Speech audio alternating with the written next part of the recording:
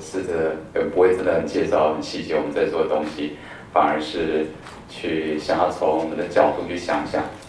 因为在这个呃开放政府运动跟就是所谓的大家是黑客黑客公民之间的呃互动越来越密切，但是我常常在想那个学界到底在做什么，他的角色在这个过程中。应该可以是什么？特别是我们念语言学的，可能大家甚至更不熟悉。所以今天有一点想要抛砖引玉啊，求教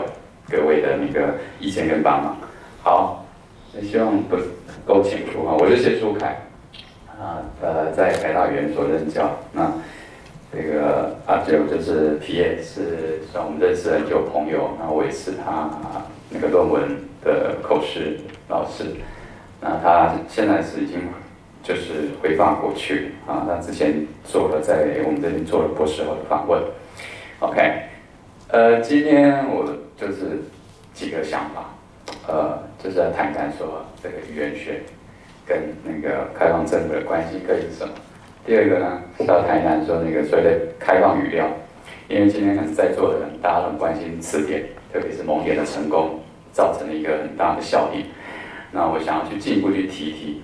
这样一个字典再往前进化是什么可能？或者是除了字典之外，语言的资料是不是也应该公开？那什么叫语言资料？好，那我们提，我会提一提我们在做的东西。那最后就是一些建议。OK，那个语言学，呃，很暗。那个语言学，我给一个一分钟的背景知识，可能大家都没有听过，因为我们都在做语言教学，基本不是的哈。语言学是这样，我们要回答的其实是语言怎么被学习到，啊，语言怎么发展，语言它的结构是什么，它的功能又是什么？那我们在语言处理跟理解的时候，它的神经跟心理机制又是什么？那它在社会的发展的变异啊，不同的性别、不同年纪、不同的语族，他们的语言变异是什么？那这个语言长久来看，它的演化过程又是什么？看的其实是一个很跨学门的一个学问。那我自己在做的是叫做 computational linguistics，就是叫计算语言学，或者如果是自工背景人比较喜欢谈，那叫做 NLP 的自然语言处理。那其实跟它这个相关也有一个叫，就是说大一点的方向叫 empirical，就是经验式的做法。我们认为看待语言分析员要有语料啊，不要你坐在那个这个椅子上想一想就把语言规则想出来这样。好，那其实这个语言的数据。那个，我们说，我们相信它蕴含了很多东西，包括说这个文化，我们的文化历史记忆、社会心理趋势啊，或者这个所谓的现在很很红的这个这个舆情的倾向分析，对，那或者情绪那个 sentiment 然后是，是甚至那个人格的特质，他决策的行为，还有甚至在医医疗领域啊那种呃有一些疾病的前期的语言征兆，这些都是在语言行为里面。可以被发现到的，啊，所以可以大家可以想象，这是一个很大的一个破，很大的一个研究跟应用的潜力。那在这个过程中，语言分析是一个重要的角色。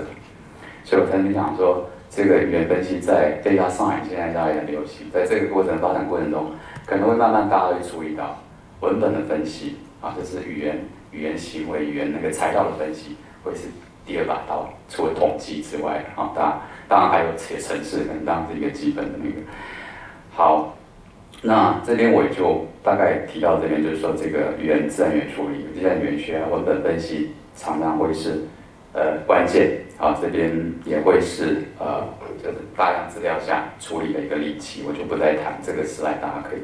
呃在网络上可以看到。好，我再谈谈什么是语料啊，可能大家不清楚什么叫。Linguistic data，或者可能大家有听过什么 corpus 啊、语料库啊，但是什么叫 linguistic data？其实很简单，就是我们表达出来，我们为了沟通啊，我们讲话就是叫表情大意嘛，对不对？我想跟你讲什么，我隐含的我的情绪，比方说这个情绪在这里，可能是我想要把我觉得这件事对的那个、那个、那个情、那个情意附着在我要讲的那个意思里面，然后语言就这样表达出来。所以我们才做语言表表情达意，还有那个呃呃意义的部分，也有那个情绪，呃是思维部分跟那个情绪部分。那实现出来资料很多，所以大家像我现在讲话就是，它就是语音形式，对不对？要是有人做过，我要觉得有趣，做一些共笔或者或者是转录，它就变成文本形式。那如果我们待会有一个互动，它就变成一个言谈形式。啊，所以语言无所不在。啊，我们就像今天，其实我也在想说，我们想把整个呃这次会议的过程既然公开，我们把它做成一个语料库，我们就可以来分析这一次的年会大家关心的主题，大家的语言行为是什么，大家在想什么，大家反对什么等等，这个就是语料的概念。好，好。那在比较科学研究的脉络，就是计算语言脉络，这个呃语料的形式啊，就是我们刚我刚刚讲这些 data，那 language data，你怎么把它整理起来？有很多个角度去做啊，这就比较呃怎么讲，就是比较学术上讨论，就是说像大家最熟悉的可能是字典啊，就是 dictionary。那其实我们在看待 dictionary，对这个字典对我们也是好用的资源，但是它好用的部分。会比较是在教学上，就语言学习上，啊，你当要把它应用到实际的，实际的那个应用或者操作的时候，它有些讯息可能必须再被整理或者被再添加，或者是从我有一个另外一个角度叫词库的想法，就是 lexicon，lexicon dictionary 不一样，在说我们就像你想想，我们那么多的字词。但是在我们的 mind 或者脑或者哪里藏的那个东西，绝对不会是像我们现在字典的形式。对，我们查找字典绝对不是用 alphabetic 或者你按照笔画去 access 那个资料。就像我现在突然讲一个什么你不太熟悉的，你去 access 你脑中的那个字典的时候，那你就想象那个字典的样子，大概是我们比较不相批不不倾向于相信它会是现在的 dictionary 的那个格式，所以就有一些词库的概念，要去模拟那个字词知识在我们脑中到底长什么样子。好，那这是这个也是一种语言的再整理，这语料的再整理。那语料库，待会也可以跟大家看一看，可能大家觉得比较有一点意思。语料库听起来其实它也不是单纯资料库这么一个简单概念。比方说，我们最近试出一个 PTT，大家很熟悉的那个 PTT 的语料库。那这个 PTT，呃，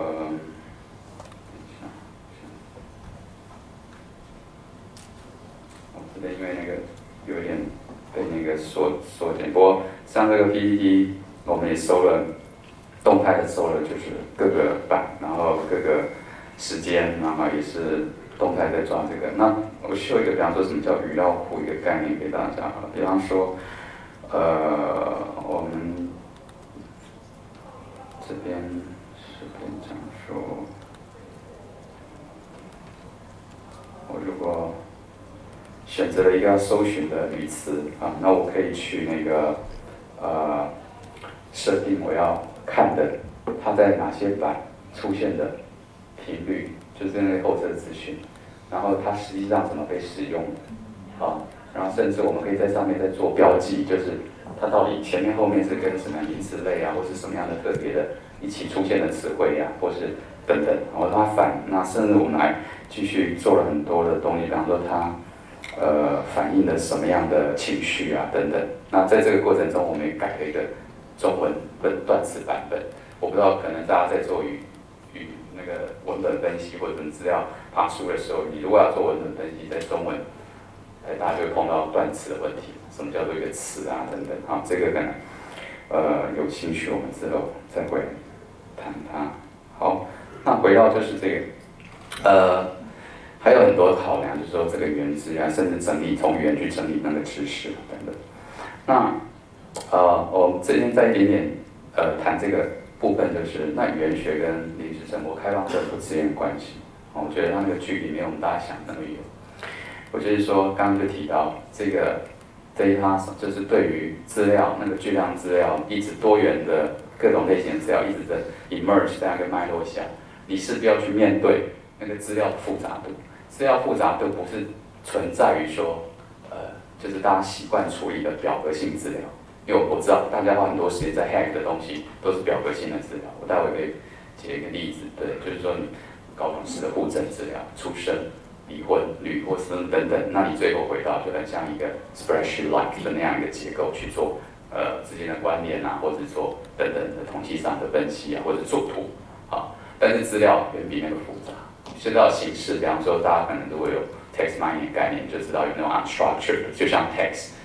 文本，那你怎么去分析它啊？好，那我这边也觉得想要提一个，就是呃，我也不知道，呃，好像就像刚谈那个学界在这个过程过程中，我也直在想，因为我们都被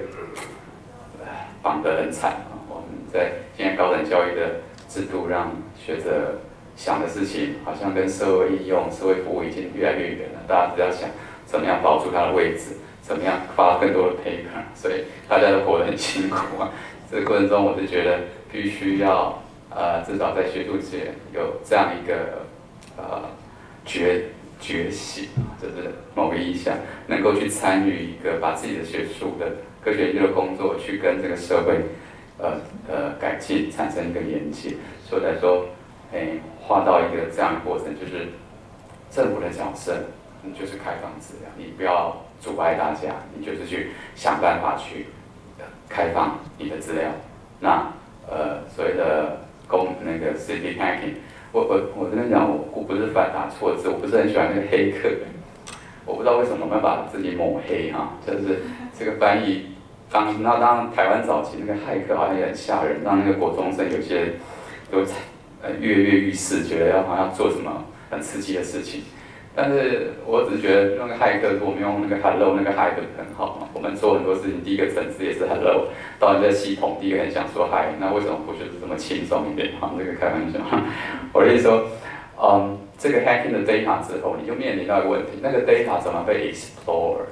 这个东西会越来越重要。我待会给大家提一个这个大家在做的那个呃立委投票指南的问题的时候，你可能就会有这个意识啊。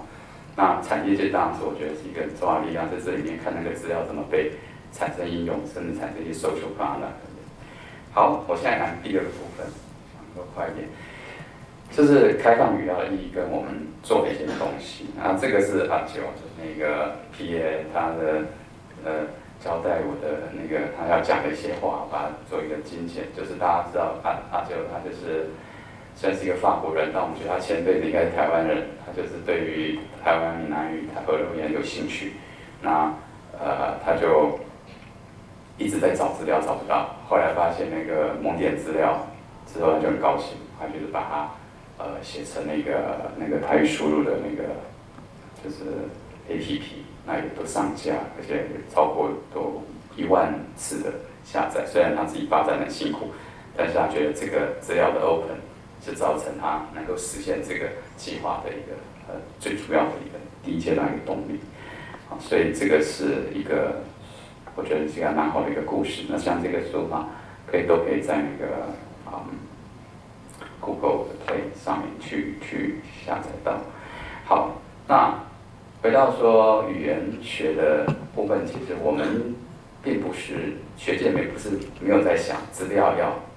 做的资料要串在一起。才会产生效益，所以也是有一个所谓的这个语言学的 data movement，就是 open linguistics。我们把做的资源，我刚刚讲一些 lexical corpus 或是 ontology，全部把它用在一个格式下，能够把它串联起来，开放出去，产生更多的可能。你就可以想象说，那个知知识资源是非常的，可以是非常的丰富。就像是你看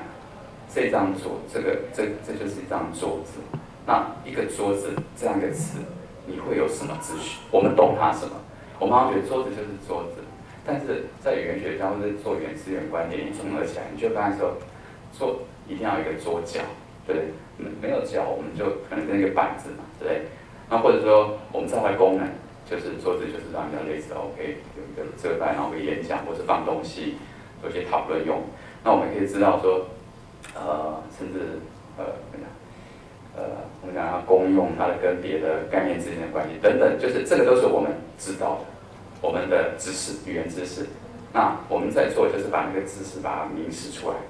实做出来，放成一个像资料库的东西，让大家去用，那才会强大。甚至你讲到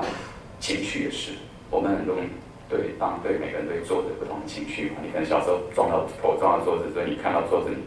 就是有一些比较负面情绪，还有一些比较中性等等，但这些东西都可以在表达上被记录下来，那就是个知识的那个的那个诗作。那我们是，我们是自己做这样一个东西，当然是没有很完整，就是才刚开始只做了一两个部分。就我们希望把这个语言知识，我们刚刚讲的东西开放出来，那这开放出来，我们要推好这边涉及好几个计划，就是说这个一个大的呃巨量词库，那我们甚至大家就想说，我这边讲说放弃那个原子论，这个意思就是说，让这个故事讲起来很长，但是因为如果大家熟悉中文语言处理，你就知道那个词的问题一直是一个问题。那甚至假设就是想，你要分析不同的种类的文本的时候，假设你今天要分析国会文本，我们大家觉得哎，国会的那个讨论很重要，那你怎么分析？那中文就是都都没有一个 boundary 一个空白格在那跟你讲，它是一个 word 啊，那一种分析。可是你说每个单字都是一个 word 一个单位，也不是啊。像今天，什么叫做今？不知道。你不能说“今”是一个字啊，对，它是一个汉字，但是它不是一个 word，它不是一个我们叫做词，对不对？所以你要去有一个段子系统告诉我，去分出这个叫今天叫一个 word。可是事情绝对不会那么单纯。我就讲一个最简单，就像如果要分析国的文本的时候，很多是呃，比方说一个一个 turn 一样，可是你段子系统会把它断开，所以就还原不会去看到说它怎么被使用的东西。啊，就像是这边有没有个例子？比方说公教人员，哈，这个是从那个立委资料上来。公教人员如果是断子系统，它可能就会把它断成公教跟人员。但是公教人员在法律的脉络，可能它就是一个 term，它被观察。我们要观察说，那立委多关心公教人员，但是你在前处理把公交断开的时候，你就没有机会去看他怎么去关心公交人员，对不对？好，这个就是我谈的一个那个我们要放弃原子论，就是说把它做大的时候，然后公务在里面，人员在里面。公务人员也在里面，那这个就是一个很大的一个词库，那伴随它各种不同的那个呃语言讯息，啊，那其他嗯，我说在这里不太细谈它啊，那我们也想要做一个有趣的那个汉字的东西，就是从那个字字的那个知识结构跟它最原初跟那个应有语系的对应，这个都比较。学术上不谈，但是我们这些资料，我们希望除了资料公开，我们要把方法公开。方法公开就是我待会在谈说这个，像这个我们在做了一个开放的系统，大家也可以去去去查询一下。我觉得是呃，算是我们的目前在想推动的一个部分，就是不止在学界，希望大家能够使用跟帮忙。那当那个里面有那个。因为它有些那个，它不要背那个什么条款，什么下方那是假的，因为只是我们在刚刚弄完那个网页，那同学去套个样本，我们是要完全开放，那可能套的一个不知道什么样的手用网，好，这这样，反正这个这个是一个开放性的东西，但是它开放性的在于我们想法，它不是只有资料开放，它那个字所谓的 know how 也要开放，也包括。那个方法，比方说我们怎么看资料，我们刚刚讲的很 core 就是说，你看它前后怎么长，什么那个字长什么样，或者你可以抽取成一个，做一个图，做一个很漂亮的词根词之间的图等等，那个都是方法。那做那样的，就是说那个方法可以被公开，也可以被再产生。你感觉我干嘛要用这么笨的方法在看语言？那我们就欢迎，我们要创造那个平台，每个人可以去实说那样东西，那个对学界有帮助，对于开放政府资料分析绝对有帮助。好。我就先这里先这样子。那我们也希望我们在做的刚刚讲那个巨量词库，我们希望说，我都把当成蒙面的学伴一样，就是我们要从那出发，把呃啊比较多科学研究的讯息包括进来，像我们现在做的包括情绪的部分，啊，还有其实还有那个儿童发展的部分，就是你这个词是大概是几岁小孩开始学到的，或者是那个呃。什么样呃年纪的人在使用这个相当重，这个我岔开一下，我本来可以待会在开的时候讨论更多，因为呃我们在做了一个研究，就是想要去去量度词汇的年纪，因为现在新词的产生太快太多，现在这个网络年代，近十年产生那个新词，就像已经可能是远数倍、数十倍于以前的时代，因为像我们呢在。我要什么创新的用语，大概都跟我爸妈讲一下，他们也不会流传啊，没有网络，就是在这个家里讲一讲，然后明天没人讲。可是现在网络不是流传速度非常快，但是问你衍生的问题，你就想做词典就面对这件事情。这个新词就像有事吗？好，假设是一个词，有事吗？会不会火火到下一个月，或者在两年它火会有人有兴趣在讲？不确定，但这不确定会对字典业者造成困扰。我要不要收词啊？对不对？萌这个词也是蛮不错，但是但我相信萌会变成一个稳定的词。然后我就说，字典业者他会面临他要怎么判断？那以前都是经验知识或者是一些很有学问的人在判断，可是时代在改变，这个我们需要用一个新的计量方法，或是资料分析的方法去预测、去量度。啊，这不只是往后预测它会能活多久，要往前预测说那些词。你要标记它的年纪，否则你让一个字典这样子让外国人什么都不知道。你要看蒙典网页第一页那个蒙，好像一个例子叫人民，叫做蒙利还是蒙，我忘了，嗯，可以看一看，它是人民的意思。我们现在没有人知道，可是外国人或者学习者，你没有任何标记信息，他可能就去学了，他就跟你说蒙利很伟大，你已经不知道在讲什么，对不对？那那是一个老不知道词，就是它有些是经典里面的词。有一些可能是四十年前的词，我们现在都已经不讲，但是里面那个标记讯息告诉人家说这是什么样的用法时候，你反而会对学习者产生困扰，这是我们的角度。所以要 restructure 这样的东西的时候，要设计很多的那个呃，好，就是必须重新去去思考一些接下来的问题。我们待会再也许有时间再谈。那我们到目标，这个计划目标是长远目标。今天早上讲，就是说我们这早上提到提到一个 goal，那标这个 goal shifting，我们的目标就是希望人每个人都可以玩科学，只要他想，特别是语言科学。我们也希望每个人都可以边玩边贡献社会，就算他没有在想这件事情，这个也是有趣的。我们想要推动，因为讲讲话就是这样，你在讲话，你不觉得你在贡献什么语言学界或者什么什么以后伟大的应用？但对我们的贡献，如果你把那个资料给我们，我们就知道语言的发展。就刚刚讲语言发展、语言习得、语言变异到底是怎么回事。只要你愿意，你就在帮助。你根本不用讲，我要写写生书，我要怎么样怎么样才能做什么事情，都不用。好，这是我们理想。那可不可能就是在前提当中说，大家要理解到知识要把它私有化啊，特别是。就刚好，这那个例子也讲得很好，就是我的、你的，我也搞不清楚那到底是谁的，甚至我们学界也是啊。我当时就觉得我很纳闷，做了很多研究计划，那很多老师认为这是他的，可是我们不是拿纳纳税的钱嘛？那我怎么会有一些什么专利、制作产权要那么多复杂办的？那不是就是我就是领钱来做这件事情？好，这个。那我再讲一个例子，说我们做这样的事情，在语言学或者在。直接做这样事情，到底跟开放政府有什么关系？我这边有一个很简单的例子，我们去稍微去爬了一下，就是大家很努力的做了一个立委跟议员的问政指南，其其中有一些那个那个法条修正草案的数字，对不对？好，好，很快。那这个数字，那就是说，你们如果去看一看，就做很多图表，对不对？有 pie chart，有这个这个 bar 什么，嗯。上面都会附一段话：量化数据不能代表好坏，只能参考。修正草案数多不一定好，请点选该立委个修观看其修正草案的内容再做分题。内容这两个字，我就把它标起来。这件事就涉及表格资料。你放表格资料，告诉人家哦，就是哦什么立委谁，好像就做了好多，从那个数字看，好像提案提很多，好像很了不起。但是实际上这里面故事很复杂，对，你要实际看他那个文本，你才能知道他关心什么。或是他有没有，反正很多故事可以讲。那这边也会有牵连到刚刚那个例子在讨论那个，其实你在帮助，就是做这个文本分析在帮助什么事情？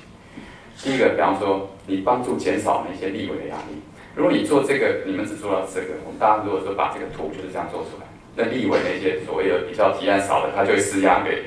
放出资料的政府公部门说，你看你要乱讲，你怎么可以怎么样？那那那我们就讲不完。那你势必如果在这个部分，如果就是说大家可以再去往前去做文本分析的时候，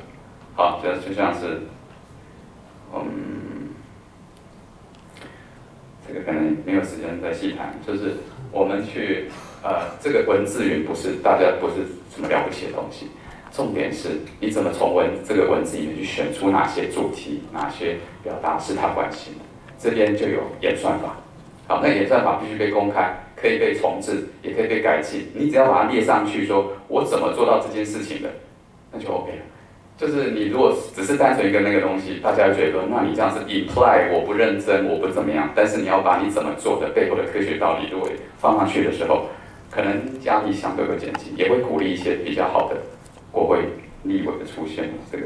我其实正在想说，其实我们在做云奥夫人，还有做这个多模态，就是这个跟做心理员的可以结合，甚至把各大家做的那个国会的那个那个录影的那些资料，可以做一些测谎器啊，那个都都是跟原学有关。啊，因为时间就在谈最后部分，我们主张就是这样。那个除了这个还，我们知道还文于民啊，我们希望还还于民，什么意思呢？就是这个我上次之前去跟那个原民会的主也谈过，我们是本来想要，因为大家知道作为原住民园的老师其实很辛苦，他们要到山上去做田野调查，回来记录转写学生的痛苦，那也不知道大部分访问都是祈祷，就是上有一个年纪，可是事实上现比较新一代的原住民青年。他们的语言表达，大家不太知道。那甚至不要说很年轻，就是个代跟代之间有一些差别。我们就想说，那个原民会其实他应该可以去公开他的原始，比方族语新闻啊，有各族的，我帮你们看过各族那个新闻，或者是就是公共电视也是，他们可以去试出他们那个讯息，那对我们就是很重要的帮还有其他机构等等都是啊，这个就认像这是一个我们研究，就是。只要你给我们词基本词汇，各组基本词汇，我们就有机会去模拟台湾南岛语的那个家族。那跟国外一些资料，我们可以去对应，去把那个全球的那个南岛民族的那个轨迹对应起来。只要你把那个资料，他们有的资料试出来，我们多方便。否则我们要这样这些事情，在十年、二十年的资料收完，刚好就退休了。好，然后这也是我们一个想法，就是说，我们觉得实验室要在社会发展的脉络。那我们希望从支点出发去做词库，去做词网，正道做词源，这个有机会再跟大家报告。最后我的结论这个，反正这个 TED Talk 大家都知道，这个那我们是想要去把那个 lab 跟 people 去拉近。那也是 P 也是，就大家做这个台书，他希望他接下来我们的规划，希望报给大家，让大家一起来操作，呃，让这件事情变得呃可能好。那最后就是我有把一些我们计划跟这个 slide 或是那个可以输入的那个工业，OK，好，刚好用完时间，真不好意思。